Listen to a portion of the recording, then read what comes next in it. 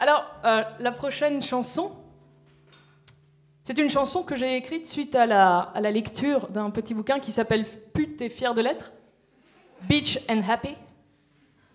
Et euh, je me suis dit, il y a plein de chansons sur les prostituées, mais il n'y en a pas une seule qui voit le truc d'une manière positive. Or, moi, j'ai rencontré plein de nanas qui faisaient ça puis qui étaient super contentes, quoi.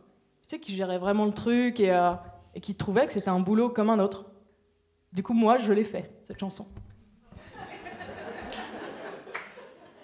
Que j'ai appelée par le nom de, l'écrivaine du bouquin, qui donc s'appelait Maîtresse Nikita, qui était une maîtresse dominatrice euh, et militante pour les droits des travailleuses du sexe. Nikita.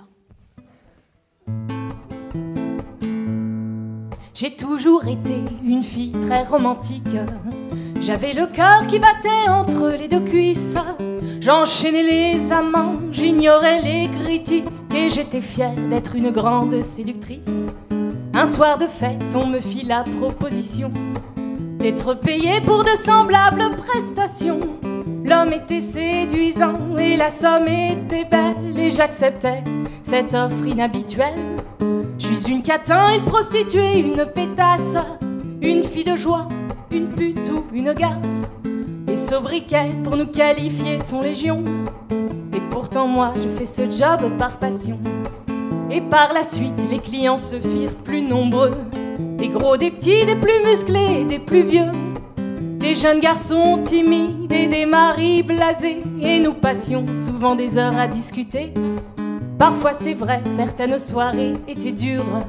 Mais dans vos jobs c'est la même chose et j'en suis sûre. Mais non c'est différent, mais mon Dieu, quelle audace Il serait temps de voir la vérité en face. Je suis une catin, une prostituée, une pétasse, une gourgandine, une pute ou une garce. Les sobriquets pour nous qualifier sont légion. Et pourtant moi je fais ce job par passion. Je suis une catin, une prostituée, une pétasse, une fille de joie, une pute ou une garce. Les sobriquets pour nous qualifier sont légion. Et pourtant moi je fais ce job par passion. J'ai pas de macro et je ne suis pas toxicomane. Je m'organise comme une vraie businesswoman. Je gagne bien ma vie et j'aime mon métier. Et ce dernier ne m'a jamais traumatisé. Nous ne sommes pas toutes égales sur ce point.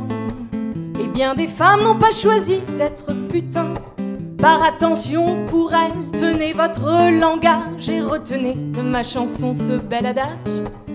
Une catin, une prostituée, une pétasse, une gourgandine, une pute ou une garce. Les sobriquets pour nous qualifier sont légion.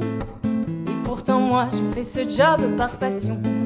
Je suis une catin, une prostituée, une pétasse, une fille de joie, une pute ou une garce. Les sobriquets pour nous qualifier sont légion. Et pourtant moi je fais ce job par passion.